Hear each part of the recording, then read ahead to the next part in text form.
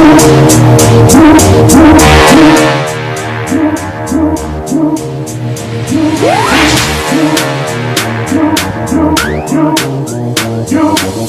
you, you, you, you,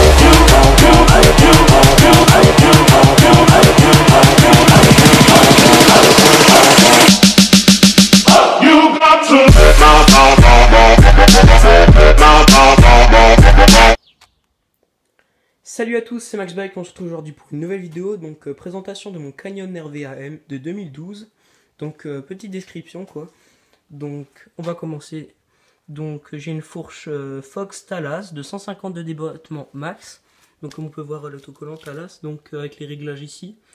Donc on va passer au réglage directement. Donc là les réglages c'est pour plus fort, moins fort. Donc soit la passer en 122 débattements ou max, donc 150 de débattements. Ici, là, au milieu, ça sert à euh, remettre de l'air dans la fourche. Et ici, à droite de la fourche, donc là, c'est pour le blocage, des blocages. Donc, dans ce sens-là, blocage, déblocage dans ce sens-là, bref. Arrière, j'ai une suspecte Fox Float RP2 avec 142 débattements comme Canyon, a fait inscrire sur le cadre. Donc, euh, passons au réglage directement. Donc là, c'est pour ouvrir et fermer la, la suspecte. Donc là, il me semble, elle est ouverte et là, c'est pour la fermer. Bref, voilà.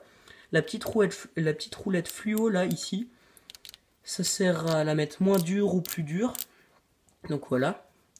Donc, on va parler directement du pédalier. Donc j'ai un pédalier XT. Euh, on va parler maintenant des jantes. Donc j'ai des jantes DT Suisse dessus, donc euh, avant-arrière. Mais aussi des freins à disque hydrauliques Magura, qu'on peut voir ici. Mais dessus, quand on l'achète aussi, il y a des pneus cheval B. Donc je sais plus trop lesquels c'est de base. Parce que moi j'ai déjà changé, bien sûr, depuis le temps.